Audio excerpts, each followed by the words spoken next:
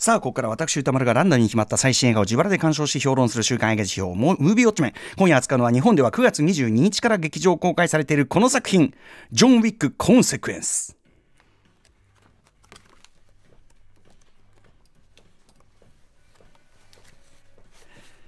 キアヌ・リーブスが伝説の殺し屋を演じるジョン・ウィックシリーズ第4弾。世界中の殺し屋から命を狙われ逃亡を続けるジョン・ウィックだったが自由になるべく反撃を開始する。その頃裏社会を統率する書籍連合の命を受け盲目の暗殺者ケインがジョン・ウィックの行方を追っていた。主演キアヌ・リーブスのほかドニー・イエン真田広之シンガーソングライターのリナ・沢山などなどが出演。監督はシリーズ全てを手掛けているチャド・スタイルスキさんでございます、えー、私監督インタビュー火曜日にお送りいたしました。ということで、えー、もうこの作品を見たよというリスナーの皆様ウォッチメンからの感想、えー、メールでいただいております。皆さんありがとうございます。メールの量は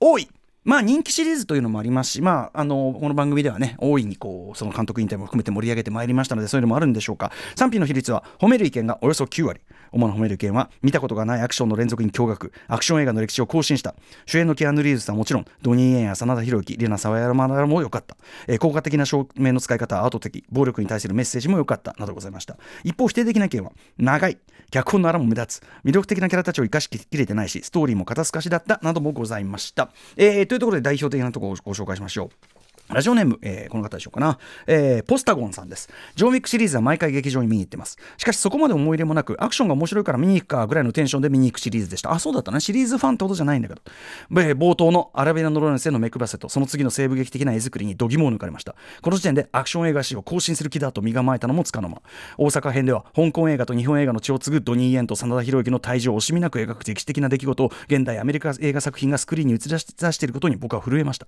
アメリカ映画だけでなく、古今東西、あらゆるアクション映画を全て網羅する気だと思いきやベルリンパートではジョニー・トーと007の美学を融合させてクライマックスのパリパートではチャップリンやバスター・キートへのリスペクトももちろん、えー、さらにはバイケル・ベアアクションゲームの視点まで取り入れワンカットの長回しによる絵作りを中心にアメリカアクション映画を更新してみせましたあとはねあの監督パリなのはアメリが好きだからって言ったりとかね、えー、他にもそのオマージュはめちゃくちゃいろいろ入ってたりするんですよね。すごく映画オマージュが込められた作品でもある、えー、そして最も感動的なのはクライマックス手前の階段シーンです。ここまでで十分といえるアクションを提示してきてそのまま最後の突入に、対決に突入しても何も問題ないのにあえて主人公が階段を一段ずつ登るというシーンを入れることに作り手たちのただ単に迫力のある映像を作るとかではない美意識を感じました。上映時間が180分近くあると知った時は作り手たちのエゴを感じる作品かなと身構えていましたがその正体は圧倒的なアクションへの敬意と美意識による時間でこれ以上に面白いアクション映画が今後作られないのではと思える作品ですごいもんがこの世界に生まれてしまったなと思いながら劇場を後にしました。あオマージュで言うとあの公爵が最初にあのウィンストンたちを呼び出すところの照明の感じあの照明というかな光の当たり方の感じはベルトルッチ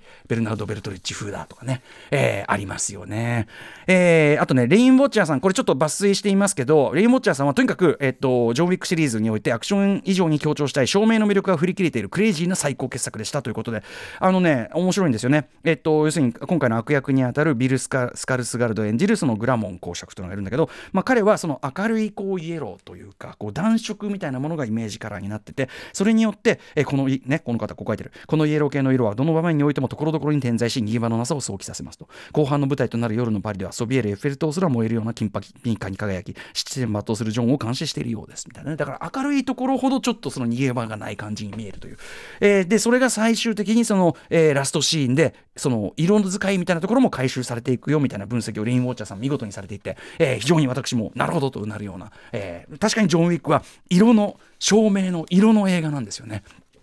一方ですね、ミスターホワイトさん、私はアクション映画好きなので当然にこの本シリーズは好きです。3作品とも劇場で2度見ています。本作はクライマックス級アクションシークエンスの鶴瓶打ちで見終わった後もすぐに作品の全体像がつかめない感じでした。まさにメガ盛り絶品フルコースを食べた気分。アクションの凄まじさ、目新しさは言わずもがな、スコット・アドキンスやアルマル,、えーと、マルコサ・ロール、あの敵型のチームの一番でかいね、用心棒みたいな、といったアクションスターも、えー、その強さを実感できる活躍ぶりで、えー、満足しました。しかしやはり169分は長いですと、えー、同じ動作の反復が目立ち、編集の潔の悪さが目立ちます。すべてのアクションシークエンスの尺はその半分くらいでちょうどよかった。階段は別、あそこは長さに意味がある。ね、うんさすがにこうおっしゃってる。えー、という、で、いろいろまあ書いていて、で、長いと脚本も荒が目立ちますと書いていただいて、えー、私的には、えー、2作前のジョン・ウィック・パラベラムぐらいの尺だったら年間ベスト級と言っていたでしょうというようなこともおっしゃってます。はい。まあ、ストーリーの荒だのなんだのっていうのはね、もちろんね、あの僕はこれつまんないとか退屈っていう人が言っているいても全然おかしくない作りではあると思ってます。はい、えー、ということで皆さんメールありがとうございます。私もジョン・ウィックコンセクエンスえっ、ー、とまず監督インタビューの前にもあの一足先に見させていただいたりとかあとバルトナインでドルビーシネマもう色ビッキビキ音も色もビッキビキで、えー、サイクルしたドルビーシネマね見てきたりとかもう計投資で4回は見てるかな最低でも。みたいな感じですね。えー、ジョー・ミック・チャプター4です、えー、まずですねちょっと本題に入る前にアクション映画と一口に言いますが大きく言って2つの系統というか要素があると思っておりまして、えー、一つはこれは僕なりの表現ですが追跡移動を描くサスペンス系アクション。要は、えー、ハラハラドキドキさせる方向のアクションですね、えー、例えばその方向としての現状最先端最高峰に近年のトム・クルーズ映画「ミッション・インポッシブル」シリーズなどがあったりすると思いますと。で一方でその、えっ、ー、と、追跡移動を描くサスペンス系アクションに対して、えー、格闘系、マーシャルアーツ系アクションというのがあって、えー、これは、まあ、香港、まあ、チャンバラも入れるなら日本も含めたアジアで主に発達してきた方向性と言えると思うんですね。で、もちろん両者はパックリ完全に分離してるわけじゃなくて、もちろんあの前日したサスペンス系の中に格闘が入ってきたりもするんだけど、特に後者、格闘系アクションというのはやっぱそっちに特化した作品が多くて、むしろミュージカルに近い。つまり演者の卓越した卓越した常人離れしたその技。それ自体をめでるものになっていくという、えー、これ私の過去の映画表の中でもちょいちょい言ってきたことなんですけど、はい、格闘系アクションはミュージカルに近いという。でとにかくその格闘系アクションという方向のミュージカル的アクション、その現状最先端最高峰を突っ走っているのがスタントチーム会社8711。中でもその代表作たるジョン・ウィックシリーズということなんですね。8711率いる、まあ、今回の監督も務めてます、チャド・スタイルスキさん。えー、無論、スタントマン出身なわけです。えー、火曜日にね、私2度目のインタビューいたしました。ぜひですね、1度目の、前回のパラベラムのタイミングのインタビュー、2019年10月7日オンエア分と合わせて、ポッドキャスト等で、あとはそのミヤンさんの非公式書き起こしもあったりしますんで、ぜひちょっとね、参考にしていただきたいんですが、ちなみに、チャード・スタイルスケさん、スタントマンになる前は格闘家でいらっしゃって、えその辺に関してはですね、さすがゴングのインタビュー記事が非常に詳しいので、こちらもぜひぜひ読んでいただきたいと思います。えー、で、ジョン・ウィックシリーズ、特にチャプター2、2017年のチャプター2から今に至るシリーズの特徴が完全に確立されたという感がありますね。今、今振り返ると1作目はまあまあ普通っぽい映画っていうね、まあ普通じゃないけど、はい。えー、例えば、えー、鈴木清純殺しの楽園とも通じるような独自のいわば殺し屋中心主義的な世界観。殺し屋にこうランキングがあったりするようなね殺しのラン、えー、楽園っていうのはそうなんですけど殺し屋中心主義的な世界観であるとか、えー、そのもう一つの世界観というのを強調する通称ネオンノワールというね監督たち言ってます。ネオンノワールぴったりな言葉ですね。ネオンノワール的な人工的なルック。例えばバキッとした黒。ノワールなんで当然黒はバキッと立ってるんですがそこにシンボリックな青かけるピンクとか、えー、今回も今回はさらにいろんな色使ってて、えー、緑かけるオレンジとか、えー、ビッキビキの色彩が配される感じと。で、これはその2作目がから組んでいる撮影監督、ダン・ローストセンさんの手腕も大きいんじゃないかと思います。ちなみに、えー、2014年の1作目、カメラマンのジョン、えー、ジョナサン・セラさんという方は、えーと、チャド・スタイスキャンの9コミ、1作目を一緒に監督したデビッド・リーチさんの方について、アトミック・ブロンド、そしてまさしくネオンノワール路線なブレット・トレイン手掛けているということですね。まあ、とにかくその人工的でポップなルックというのが非常にこう確立されたりとか、2からね、特に。えー、あとは、えっ、ー、と、素手やナイフでの戦いのみならず、えっ、ー、と、ガンアクションやカーアクションまで、えー、全てを言ってみれば格闘化銃とか車まで格闘化するっていうね、えー、してみせたような、えー、リアル性とファンタジー性両面を高めた新時代的なアクション表現、アクション構築ってことですね。リアル面の話で言いますと、例えば重機に関するリアル面で言うと、えー、2から参加したタラン・バトラーさんという、えー、一流シューターであり、カスタムガンメーカーの、えーまあ、社長であり、シューティングインストラクターでありという、まあ、超有名な、要は銃に関する専プロというのを呼んできて、えーまあ、詳しくはこれ月刊ガンプロフェッショナル2013年10月号のジョン・ビックの重機回り特集が本当に面白いんで、こちらもおすすめなんですけど、とにかく、まあ、このタラン・バトラーさんが参加したことによって、そしてそのタラン・バトラーさんのシューティングレンジにとんでもない量のトレーニングを積みに行ってるというキアヌ・リーブス、プライベートでも行きまくってるというキアヌ・リーブスさんによって、まあ、最新の10秒車周り、その説得力というのがもたらされていたりとか、えー、当然格闘シーンというのも、一時期流行ったみたいな、ああいうこう、なんかこう、やたらとカットを割ったりとか、カメラを揺らしたりとか、あとは再生速度をチャカチャカってこう早回しとかスローモーションに混ぜたりというような、そういう小細工を極力しないごまかしのない取り方見せ方をしていたりとかと、まあ、これはリアル方向。一方同時にファンタジー戦という意味ではですね、えー、まずさっき言ったまあ極めて人工的なルックですよね、えー、これはだから照明とか撮影美術衣装に至るまで徹底された人工的なルックというのももちろんそうだし、えー、劇中のですね防弾技術っていうのが回を追うごとに高まっていることによってですねガンアクションの、まあ、ささっき言った格闘家がさらに進行もしているわけですけどとにかく一発や二発撃たれたぐらいじゃ死なないというのがもはやこうデフォルトな世界になりつつあると、まあ、ここはまあ突っ込みどころというふうにに捉える方もいらっしゃるでしょうが僕はえ銃撃戦シーンなるものの陥りがちな単調さあっけなさみたいなのを乗り越えるための一つのアイデアだと思ってます。えー、あとさっき言った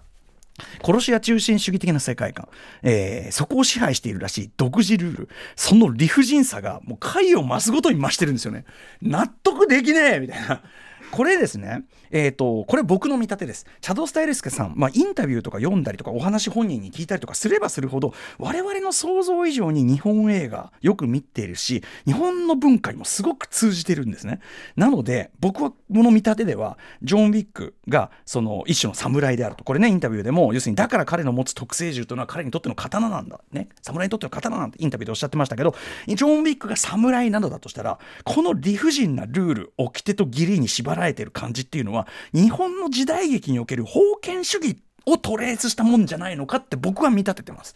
要するにまあ中心蔵でも何でもいいですけど非常に理不尽なことを言われますよね。そういうやつじゃないかなみたいな思います。切腹しろって言われたりね、うん、あるいは薬剤がであれば指詰めろ。指詰めシーンがちょいちょい出てきたりとかねってことですね。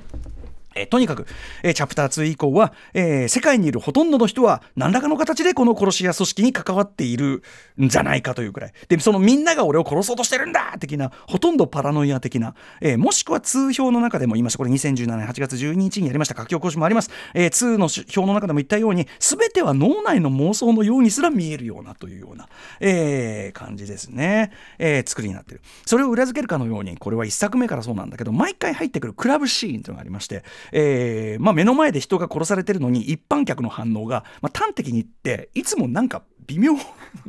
なんですね。はい。えー、要は、普通の社会っていうのは劇中ほぼないことになってるぐらいの感じ、もうほとんど描かれないわけです。感じられないわけ、普通の社会観というのは。えー、ということで、特に2以降は、とにかくジョン・ウィックが襲いかかってくるさまざまな資格をその都度さまざまな方法で返り討ちにしていくというのが延々続くという言ってみれば殺人組手マラソン状態にどんどんなっていって、えー、特に前作「パラメラム」とかは、えっと、ほとんど話は進んでませんみたいな感じになってる。でそこをもって退屈とかダメとかっていう意見も当然あってしかるべきだと思いますがただ僕はその異常さ変さこそが素晴らしいというふうに思っておりまして要は、えー、悪夢の中をこのようまく進めない悪夢の中でうまく前に進めないもどかしさ込みでひたすら進んでいくような一種の地獄巡りもの、えー、ということですね。なのでこの異常にアイデア豊富なアクション暴力描写というのは通常のこのジャンル映画のように爽快感を楽しむものじゃなくてその暴力という暴力力という業ですね。暴力という業をめぐる偶話。監督がよく引き合いに出すギリシャ神話的な因果を描くためのものであって、えー、ということ。同時にそのアクションそのものをアート的にめでる。まさしくアートアクションと呼ぶべき唯一無二の領域に入ってきているということだと思います。そして唯一無二かつ、えー、常にフレッシュな工夫と KUFU と進化を続けている何かというのは僕にとっては無条件でことほぐべき何か、えー、ということなので、はい、私はもう全面的に支持という感じでございます。さて、えー、今回のチャプター4コンセクエンスですけども、ちょっと前置きがなくなりましたけども、上映時間、えー、2時間49分、えー、その大半がですね、くったくたになりながら戦い続けるというところなので、まあ見てる側も間違いなくぐったりする。これですね、バンガーでのギンティ小林さん、えー、による監督インタビュー、さすがギンティさん、これはさすがの内容でした。はい。えー、前述したようなギリシャ神話的な構図というのを際立たせるために、観客にはちょっと長いなと感じ、えー、キアヌ・リーブスと同じぐらい疲弊してほしかったって言ってるんですね。はい。えー、ということで、まあ見どころを順にねちょっと話して時間の許す限り話していきたいと思いますがまず火曜日に応援したインオンエアしたインタビュー内でも僕ねちょっと熱っぽく語ってしまいましたがオープニング、えー、先ほどメールにありましたえー、アラビアのロレンス・オマージュ、えー、まあもちろんロケ地が実際に同じヨルダンの赤羽でロケしてるというのもそうなんですが何しろあの編集ですね、えー、デビッド・リーン監督は編集出身なのであの有名なマッチの火をふっと吹き消した瞬間にパッとあすいません。手が当たっちゃった。えっ、ー、とパッとこう砂漠に映ってこうねというこうあのパッと切り替える、えー、有名な映画史上最も有名なこうジャンプ的編集みたいなのがあるんですがもう一個有名なのは2001年でしょうけども、えーまあ、あれをオマージュして編集オマージュをしているというところもすごいですしそしてその地平線の向こう太陽を背にした4人のね、えー、影がこう寄ってくる。これはまああのアラビアのロンスでいうオマーシャリフが向こうからやってくるところのまあオマージュでしょうけど4人の影、ね、これは当然チャプター4でもあり、えー、監督のインタビュー曰くえっとなんだ、えっと、黙示録の4騎士でありそして日本語で言う死だっていうね。えー、感じですね。まあ、こんな感じででもそのオマージュの入れ方がこうなんていうかちょっと無邪気な感じがちょっとハイローっぽくもあるというね感じのねシリーズでもあります。えー、でですね今回も大変理不尽なことを強いてくる偉い人というのが出てくると、えー、ねまあ公爵というのが出てくる。まあこんな組織は絶対に長続きしねえというのがね私の持論ですけども、えー、まあ最大なくあのビルスビビルスカえっ、ー、とスカルスガルドさんあのイットのペニーワイズでねあの目がやっぱすごい特徴的ですよね。で、えーとまあ、ジョン・ウィック、このね、ジョン・ウィックっていうのは、あのちなみにスーツ映画でもあるんですね。衣装もすごい凝ってる作品であって、今回で言えば、その例えば公爵のスーツ、なんかキラキラした生地とか、えー、とちょっとこう、模様が縫い込まれていたりとか、えー、とシックなんだけど、非常にカビなスリーピース、しかもスリーピースのベストもダブルっていう、ちょっとこう、トゥーマッチな感じの服着てるっていうね、このように、えー、衣装が表すキャラクターというのも見どころの一つでもあると。えー、そしてですね、まあえー、最初の、まあ、ある種本格な舞台となるのが大阪。といっても他のこのジョン・ウィックの劇中描かれる他の都市同様現実の大阪日本とはまあまあ違う世界線でございます、えー、これあの変な日本描写って言うけどあの全部ニューヨークも何もかも変なんであのジョン・ウィックはこういうもんだってことですね。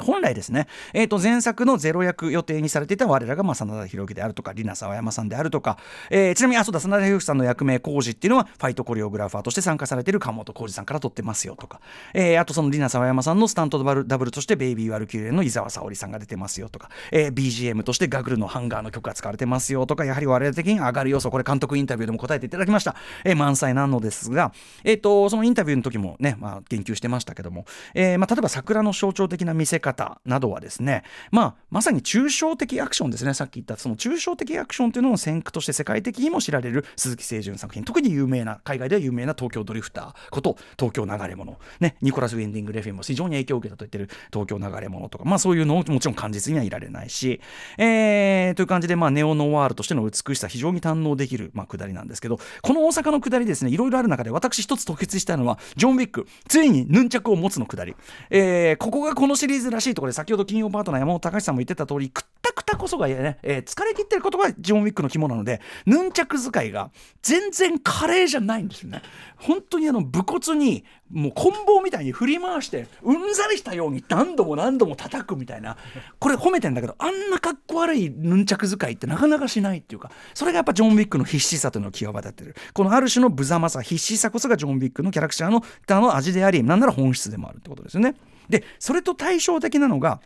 この大阪シーンから本格的に暴れ出す。言わずと知れたドニー・エン。演じるケインというね。資格、えー、まさにこのドニー・エン。映画的懸念ファンタジーとそのリアルさ説得力ですね。その、えー、なんていうかキワキワを狙えるもう手だれ中の手だれもう映画的格闘の肝を知り尽くした人です、えー、これもインタビューの中でも触れましたけどあの手をぐるぐるぐるって回してダーンってやるとかあんなことやってコミカルにならないなんていうのはすごいことなんですよね。だからキワキワを攻めてくる。あと例えばチャイムを使使った位置確認作戦とかもですね要は、まあ、これ盲人役なんですけど目が見えない人役なんですけど目が見えない、えー、っていうのとでも超人的に勘が良くてもう当てずっぽでガーンってこう打った方になんか行ったりとかとにかく見えてないんだけど見えてる急に勘がいいでもやっぱり見えてないみたいなところの線引きとかバランス感がすごい絶妙でひとしきり暴れた後にえー、っとどっちみたいになったりしてるとこがすごい絶妙。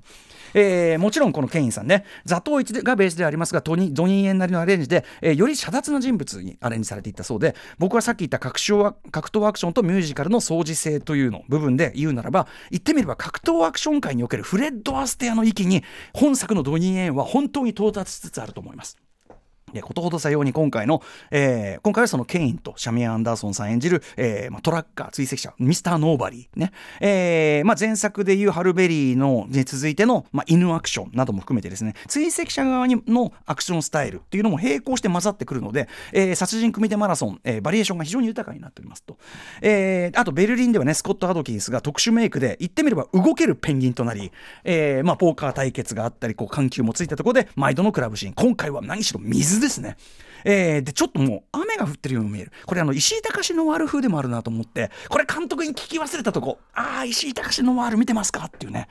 えーねまあ、ただ今回さすがに客の反応の微妙さがですね偏差がちょっとかなり極に達しつつあるっていうかえーと、平気なのか怖がってんのかどっちみたいな感じがちょっとありますけど、はい。えー、でまあ普通の映画なら第3幕ととなるであろう。つまり普通だったら全体の4分の1ぐらいを使ってやるであろう、えー、パリサクレクール寺院に向かっていく、えー、映画ウォリアーズ的オマージュあふれる苦闘そして決闘っていうのが、まあ、大体全体の3分の1強ぐらいあるんですね。ちょっとすごいボリュームがある。しかしですね確かにこことんでもない見せ場につく見せ場で、えー、まずですね例によって、えー、ローレンス・フィッシュバーンからね、えー、授けられる今回の聖剣こと、えー、今回のえー、ヒーローガンタラン・バトラーがデザインした、えー、ピットバイパーカスタムですね。これ、えーと、接近戦になるとこいつは怖いぜなんて言ってるようにですね先端が尖った形状というのが、えー、後半でちゃんと生かされてくる。そしてそこからの凱旋門周りラウンドアバウト。そのラウンドアバウト凱旋周り周りのラウンドアバウトを使ったアクションはミッションインポッシブルフォールアウトでもやってたけどこちらは、えー、なぜかまるっきり止まらない車たちと、えー、格闘ガンアクションの組み合わせ。つまりリアルとファンタジーの共存っていうのが、えーまあ、非常にこう複雑に組み合わされたアクション。どうやって撮ったのの連続ですね。あとここはやっぱりキアヌ・リーブスの運転技術ですね、えー、ドアがもう開いた状態でキキッと正確に撮れる。アパートの銃撃戦、えー、ゲームのザ・香港マサカーにインスパイアされたという、えー、上から俯瞰したショットでのこう続く長回しワンショット、え、実在するドラゴンブレスというねショットガンの弾を使った炎の効果。そして、え、やっぱりワンちゃんが絡んでくるという複雑なフォーメーション、え、まさに抽象性とタクティカル。そして、え、技術の積み重ねというのが集大成的になったこのラウンドバウトのシーンと、え、そのアパートのシーン。そして最後に控えしはやはり、えー、サクレクール寺院前220段の、えー、階段アクション。ここはですね、えーと階段を下から見て右側から基本カメラが動かないようにしてあえてまあカメラワークを比較的単調に保つことでこの長い長い空間感というのを非常に明確に体に刻まれるようになっているということだと思います。そういう見せ方に徹している。そして間違いなく映画史上最長の同行した階段落ちからのまあ、さらにとあるきっかけで再び加速していくと、えー、ここ再び加速していた先にあのマルコ・サロールさん演じる今回の,、まあ、あの一番の実力的ナンバーワン悪役に対するきっちりためを作った落とし前のところまでやっぱこうリズムがいいんですよね。すごく物量でこう勝負してる映画に見えるけど大事なところではためて決め台詞でドンとかためて倒して決め台詞とかリズムがちゃんとしてる。からのサクレクール前での朝日を浴びながらの決闘。言うまでもなくこちらは、えーまあ、音楽といいそして勝敗のロジックといい完全にセルジオ・レオネイズム、え、マカロニウエスタンイズムですね。特に最終的な決着のつけ方。やはりこれためからの決め台詞バシッと決まってシリーズ中最もしっかり留飲が下がる決着となってるんじゃないでしょうか。とりあえず一区切り感はついた本作ですが Amazon プライムで今やってる前日談ザ・コンチネンタル、えー、非常に見応えがあるシリーズなんです。これほんとしっかりジャンウィックしてて今回のコンセクエンスラストのとあるセリフがこれひょっとして伏線？っていう感じもするようなシリーズになってます。とにかくアクション映画のつまり映画の歴史をまた一つ大きく更新したシリーズなのは間違いない。デッドレコニングパート1と対照的ながらやはりアクション映画の今またね別のラインの最高峰最先端同じ年にリアルタイムで目撃するということが大事です。ぜひ皆さん劇場で、えー、ドルビーシネマおすすめでございます。ぜひ劇場でリアルタイムで落ちてください。ジョン・ウィックあのそのトラッカーがリュックをバッて前に回して防御する、あれも非常に斬新な描写でしたね。ということで来週10月5日木曜落ち候補作品7作品いきます。まず最初の候補はこちら。え沈黙の艦隊続いてバッドランズ。続いてコカインベア4つ目。ミュータント・タートルズ5つ目。バーナデット6つ目グランツーリスモ最後の候補はリスナーカプセル、えー、複数複数の方からいただきました。トンタロウさん、えー、ヒョンビン主演の韓国映画コンフィデンシャル、えー、国際協調捜査です。これ2作目なんですね。これも2ですよ。ということでレッツガチャタイム皆さんありがとうございます。さあということでウクライナ、えー、人道支援のためね。えっ、ー、と余計にあああ詰まっちゃった。詰まった。詰まっちゃった。時間が。あやばいやばい。詰まっちゃった。やばい。まもなくあと30秒。詰まった詰まった。完全に詰まった。詰まった。2までには直す。2までには直す完全に詰まったわ、最後の最後に。そうですね。これ世話になったな。これ何年使ったこのガチャ？本当ですよ。あのちゃんと番組終わるまでにガチャしますんで。すいませんでした。閉まらねー、えー、ということでこの「ムービーウォッチメン」のコーナーは来週からは木曜の、えーと、夜10時15分ぐらいからのコーナーになりますので、ぜひお楽しみにしてください、えー、熊崎君がね、えー、ウォッチメンしてくれるらしいんでね。来てくださいすいません。さっきねガチャがちょっと詰まっちゃってうまく回せなかったんで、もう一回ガチャ回します、えー候補作品はね先ほど読めなかったんでちょっと飛ばします、はい。レッツガチャタイム。お願いします。えー例によってウクライナ人道支援のためもう一回回しというのをやっておりましてさあ1個目出た。三。三。コカインベア、はい。ああ来た。これねすごい非常に面白そうなんですけども、ねえー、1回当たったやつですけどもね。えーもう一回回します。はいコンコロリン。コンコロリンはい来た。えー、と4ああ。ミュータント・タートルズミュータント・パニック来た。はい。あの代表版ですね、まあちょうどいいんじゃない？一発目ねアトロックス行ってみようミュータント・タートルズ行ってみよう。お願いします。はいということで、えーもうこの映画を見たよという方からのメールをお待ちしております。そして歌丸に見てほしい映画も募集中です、えーどちらも、えー、と見てほしい方に採用された、うん、枠に採用された方には2000円プレゼントしてやっております、えー歌丸アットマーク TBS.CO.JP 歌丸アットマーク TBS.CO.JP まで送ってください、はい。以上週刊映画辞表ムービーウォッチメン1のコーナーでした。ありがとうございました。ワンってことはね別に。前から前から前から移ってきてる来週は木曜です